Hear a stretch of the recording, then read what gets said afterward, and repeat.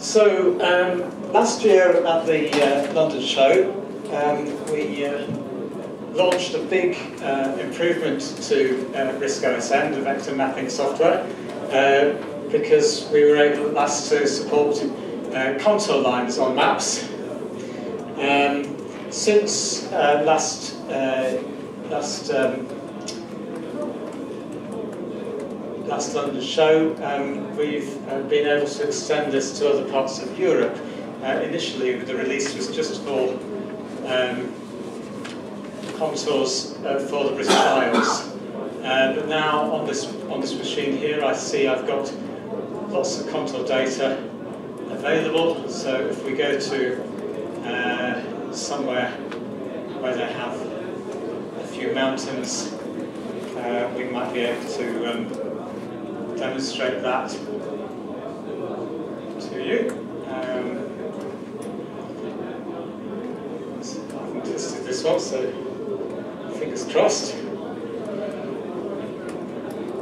Of course, um, this is a city rather than um, countryside in Switzerland, um, but we should get um, get some evidence of contours in a moment, I think, once the rest of the map is drawn. Uh, yes, so there are some contour lines, as you can see, around these hills around the edge. Um, but yes, why don't we why don't we go for another place like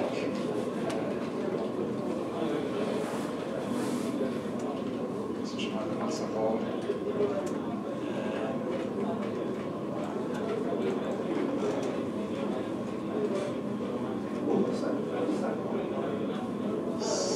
So, uh, it will, and actually I think we may have hit uh, one of the um, slight blips in the data. Um, the data that we use for um, Western Europe um, comes from a space shuttle mission uh, in about 2002, and NASA uh, did a um, did this mission where they uh, measured the height of as much of the land surfaces of the Earth as they could, um, and this has been released as public domain data. So we've taken that and converted that so that it can be used with RISC-OSM. But there are a few uh, anomalies in the data, and actually we seem to have hit on one of them because here you see in the middle of the map, um, the contour lines are all disappearing around uh, the centre of uh, the, the Matterhorn, the summit, um, because there must have been some anomalies in, in the uh, space shuttle data around there. So you're getting good, uh, fairly good contour line data around here, as you can see. And if I zoom in, um, you, will you'll see it all spread across the map. Um, but actually, the summit of the Matterhorn, that's one bit that NASA didn't get right, um, and we haven't been able to fill in the gaps. Um, so, um, I thought while, while, while we're uh, just showing you the contours, um, it's perhaps useful to um, demonstrate a few little features you might not have been aware of. Um, so this contour uh, button here uh, turns uh, the contours contour display on and off. Um, but also, if you click the menu over it, uh, there are options for how uh, frequently you, you want contours to be displayed. So if we're in a very mountainous area, suppose you only want them every 50 metres and labelled every, um, every 100 metres, uh, we can do that and it will then um, uh, simplify the view of the map quite a bit. Uh, and you can do that as any scale of map, uh, just, just the contours independently of the rest of the information on the map. Um, so yeah, contour uh, data was uh, a big thing uh, last year, and since then, um, Hilary has been working uh, mainly on a new uh, feature, the style editor. Uh, so I'm just going to go to um, another part of the world to demonstrate this. we'll back to the British Isles.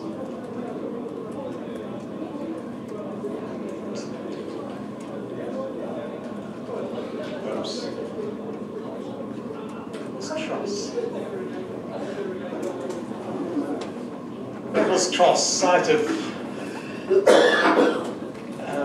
rather sad um, episode in uh, English-Scottish relations in the uh, 14th century. Um, so, uh, typical sort of map variety of different types of environment here, urban and uh, rural um, uh, features.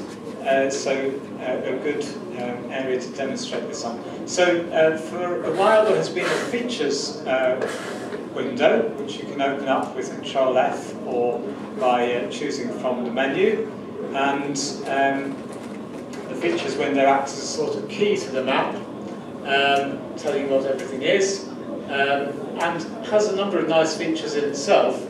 Uh, you can, for example, um, if you look down the key and you think, oh, that's interesting, um, where are these uh, soccer pitches which apparently are on the map? Uh, you can uh, click over it like this and um, say highlight soccer on map and uh, they will then be highlighted in yellow. Uh, you'll see them around various parts um, of the map. Um, so this feature, I think, came in a year and a half ago or so, something like that. Um, it, but it also has uh, tick boxes allowing you to turn um, things on and off. Um, so if we wanted to omit um, all of the leisure facilities, we could actually tick there, and then maybe um, perhaps we'll retain the uh, cricket and the hockey. Um, and we can update the map, um, which will then redisplay. Um, it doesn't have to reload the data, but uh, it will still have to re-render. And you'll see around here where the university's sports fields are, uh, most of them have now disappeared. But we do have some cricket pitches over here still being shown. So obviously that's quite uh, quite nice, especially if you're wanting to do a custom map which uh, shows some features uh, and omits others that you're, you're not interested in. Um, where we've taken this a step further now is that you can much more easily um, decide which ones should be displayed, but also how they're displayed, um, including all the colours and dash patterns for lines, uh, and hatching and all sorts of stuff like that. So I'm going to zoom in a bit so that we can get something to play with. Um, and um, right, we'll, what we'll do is we'll go and find the feature for woodland, which is up here. So I'm going to open the style editor now, which is the new feature this, uh, uh, this show, by double clicking on woodland. Um, and it might look a little bit baffling to start with. Um, it is a complicated thing. It's an awful lot simpler than editing the style sheets that are behind the maps by hand, but there's only so much complexity that can be completely hidden from the user because um, it's a complicated business. So what we're seeing here is various attributes that are applied um, in order to render woodland on the map. And you'll see here that it tells you about the tags which are behind the scenes in the OpenStreetMap data. So it's looking at the tag land use uh, with the value forest, so land use equals forest, or land use equals wood, or natural equals wood, or natural equals woodland.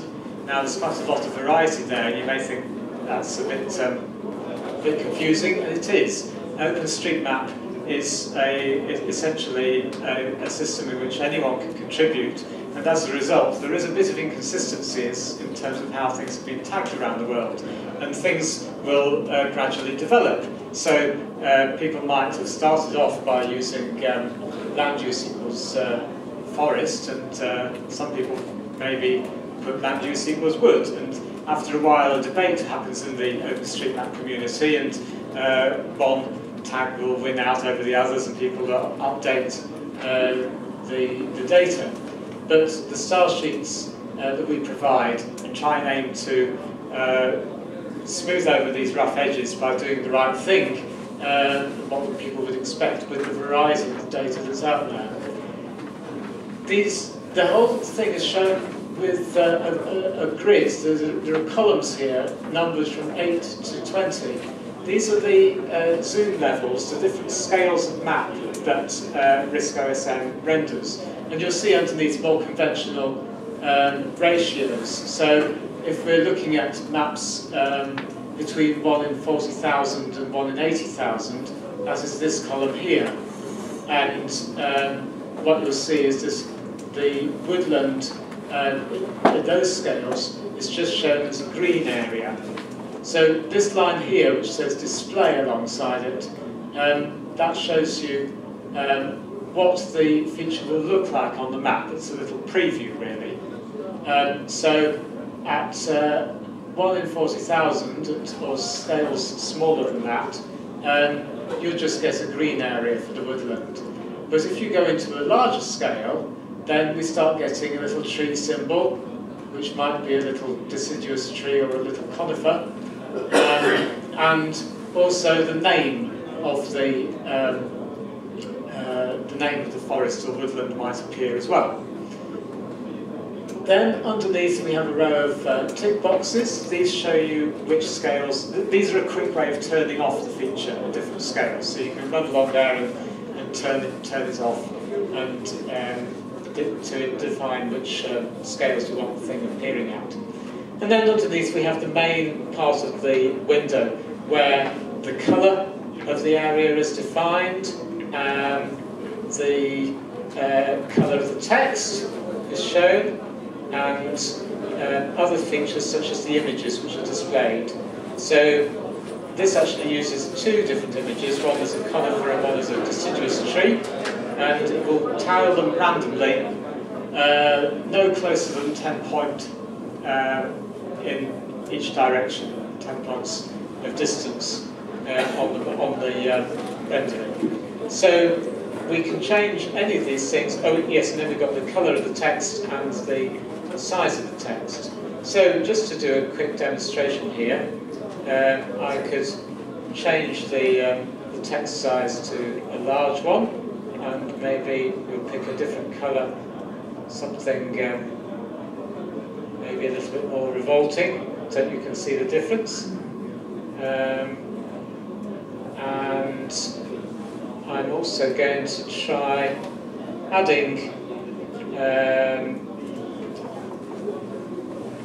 text type setting, oh, uh, sorry, font style setting, uh, will make the um, make it bold, um, and I'll apply that at uh, the zoom levels 14 to 16.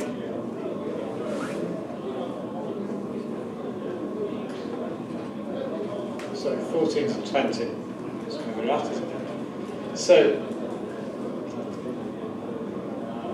We'll then, um, if I then set this and uh, we'll update the map, uh, you should then see that these areas of woodland here, which are named, now in uh, purple bold text, which was larger than it used to be. Um, we can also apply um, other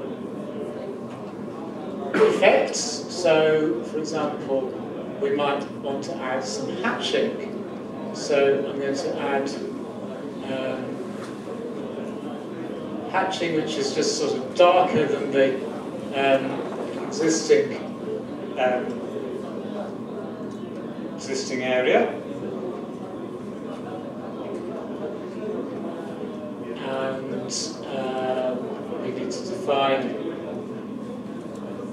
what type of hatching we've got. Um, it's going to be, I don't know, five points apart.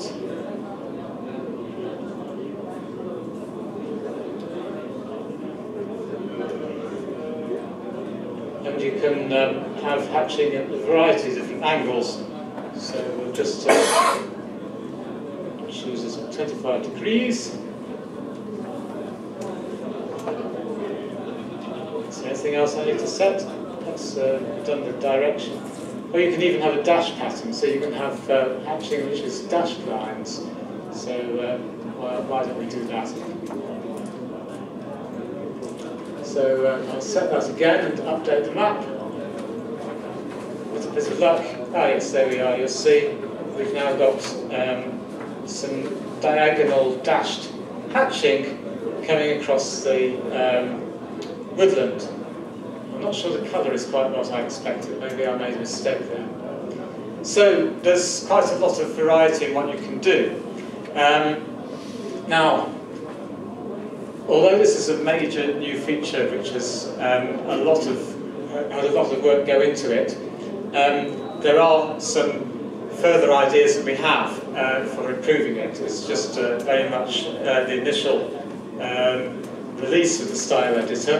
Um, for one thing, it's not very easy at the moment to um, alter the style of, well, in fact, to make anything appear which uh, is not being shown at all on the map at present.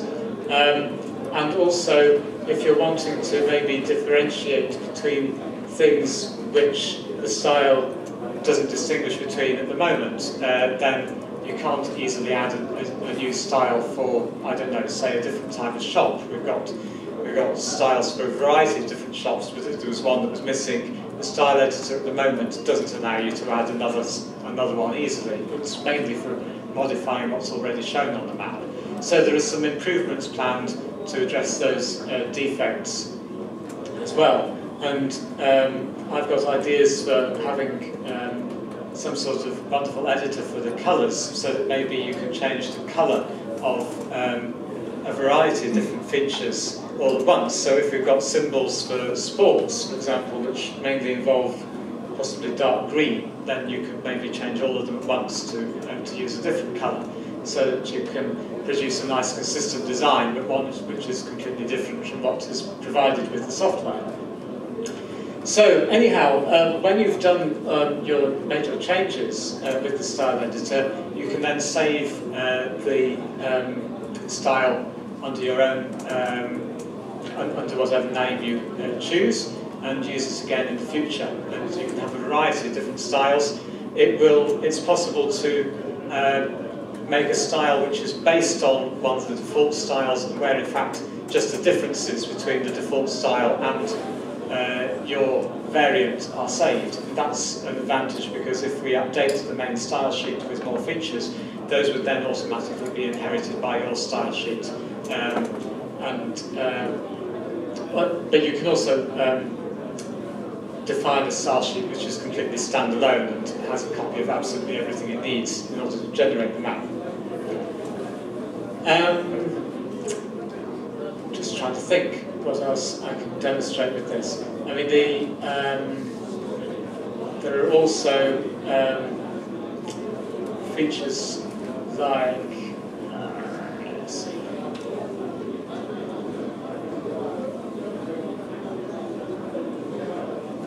with the yeah with, with for example uh, roads um, as well as the main uh, features of a road such as its uh, colour and how wide it is at different scales um, there are um, things like um, bridges. So there can be an extra section at the bottom of the style editor which reveals um, additional uh, modifying factors so if there is a tag that says bridge or a tag that says tunnel, then the then some extra borders or are applied, or with the tunnel, it turns into a dashed line to make it uh, clear that it's uh, not actually on the surface. And then there are some extra uh, lines that are added to um, roads if they are one-way streets or um, if they are private access and things like this.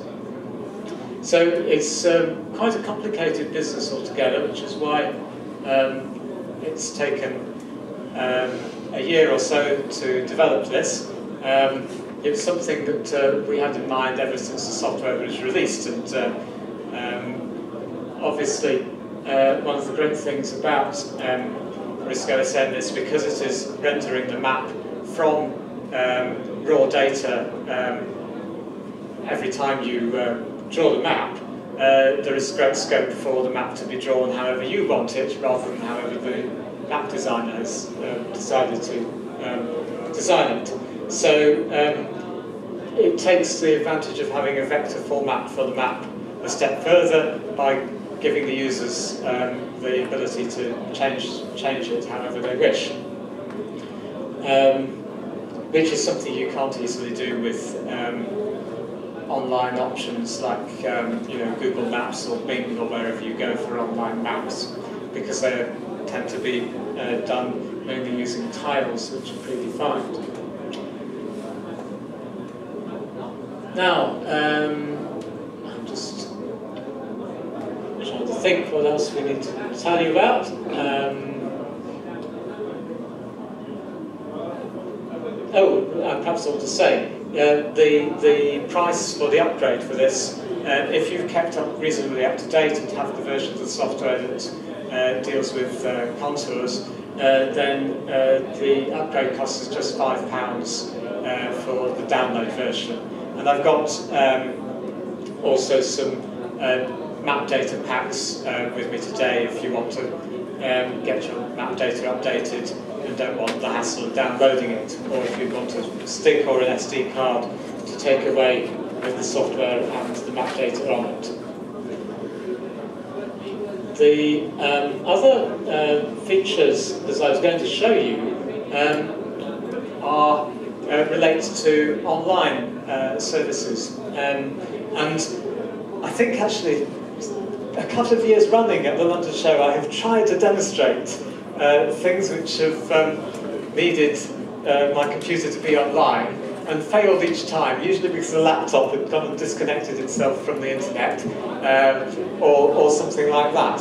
Um, so I was very pleased to find uh, this time that the, um, the internet connection is working for this machine. But unfortunately, the new um, piece of software I was going to show you um, isn't, I haven't yet worked out why. Um, the problem is, of course, that uh, the machine that I bring to the shows is not one that we use generally at home. Uh, most of the development is done on an ARMX6 or an Ionix, um, and they're a bit too heavy to carry on the train all the way down from Durham. So I usually use bring a, I, I bring a brought a PandaBoard with me uh, and a BeagleBoard because they're nice and small, um, but they're not the machines we normally use day to day, so the software hasn't been tested yet thoroughly on that. So um, you may have noticed on the uh, RISCOS forums that uh, there's been some work going on uh, on a bounty for improvements to um, the network uh, modules for RISCOS. And one of the um, modules which has come out of that, uh, which is on beta release at the moment, is, an, is the Acorn SSL module, which does uh, secure socket communications across the internet. So it allows you to do HTTPS connections uh, from software. Now obviously a lot of uh, software like Hermes and NetSurf and so on does secure connections already, but that's built into the um, software uh, via libraries that those particular applications use. Um, the new work uh, that has been funded by the Bounty is to bring that into a module uh, form. There was an Acorn SSL module quite some time ago when Acorn was still developing the Browse uh, web browser. Uh, but um, the, uh, the encryption standards have moved on such uh, since then that uh, that old module is totally useless now. So the, the bounty has been funded and um, work is going on and is nearly complete for the Acorn SSL module. And this makes it much easier for ordinary application developers uh, like ourselves who don't understand the details of all the um, what's going on with the encryption underneath uh, to, to make uh, software which can uh, talk to um, other services across the web. Now, um, one thing that we added um, a few years ago uh, was a feature to get uh, to allow you to fetch uh, pictures from the web, and there was a service called Geograph, well, it's a project really, which started out as a project to gather um, a typical photograph of every single um, kilometre grid square on the national grid. Uh, that was their ambition to start with, and it seemed like an immense kind of project. I mean, thousands and thousands of photographs required. Uh, but of course, such is the power of the internet that uh, it's quite it, it, it, outgrew that original intention. In fact, they've got lots and lots of pictures uh, from, especially from urban areas, um, from each uh, from grid squares across uh, the United Kingdom. Um, now, uh, they have what's called an API, an application programmer interface, which means that um, applications like RISC-OSM can go and fetch, uh, go and do a search and say, I'd like photographs close to this uh, location, what do you have? And um, what ought to happen if I click fetch uh, is it should go and get some pictures. And uh, it did actually get some of them, but has then gone slightly wrong. So you'll see here, um, there, is, uh, there is one picture from down by the riverbanks in Durham, and it has uh, managed to get the details of quite a few more. And if I click on, um, uh, control click on this, you'll see that it can open the Geograph site, and we can uh, see some more of the um, scenery around, around Durham. Um, I'm not quite sure why it isn't fetching uh, all of the pictures. That was working, and um, it has been working in RISC-OSM for a few years. I've been unable to demonstrate it at the show because of this internet connection issue in the past. The internet connection is working today, but the software has gone wrong in the meantime. So that's something we'll be fixing soon.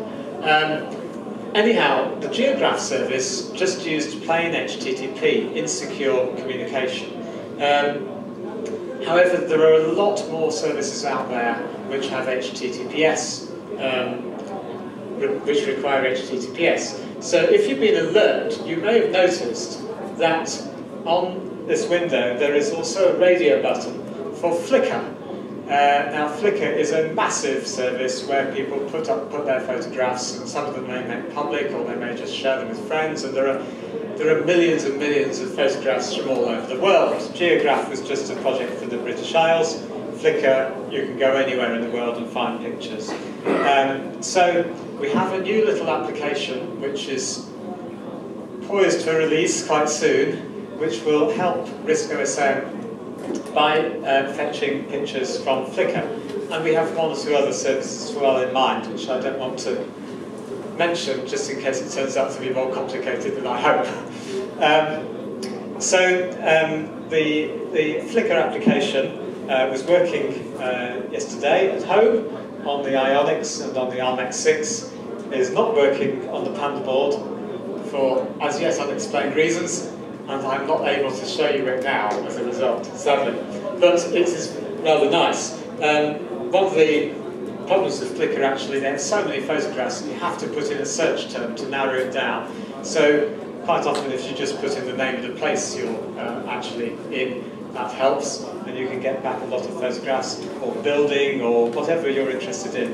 In, in really densely photographed areas of the uh, world, like central London, for example, you could probably put in almost any search term and it will come up with pictures of something. Uh, so um, it's quite, uh, it's quite incredible how many pictures have been put up there. And when it's working properly, it puts up these photographs in the pane to the right-hand side and uh, pops them on the, on the map. And they appear in a temporary folder as well in the pins and tracks window uh, where you can see more details about each photograph, including the descriptions of uh, which the, uh, the photographers have added when they uploaded them. And if you want to, you can then uh, copy those uh, pins into a permanent folder to uh, retain, um, so you can go back and look at these pictures again. And many of them are distributed under quite liberal licenses where you can actually reuse the photographs in your own publications, for example. Often you need to um, attribute the photographer. Um, there are also commercial uh, photographs available through Flickr, which is an option we could uh, look at making, um, extending the search to those. But for the moment, I've kept it just to the to the non-commercial photographs. so um, I think we're nearly out of time, and uh, I probably better uh, leave it at that, unless people have some quick questions.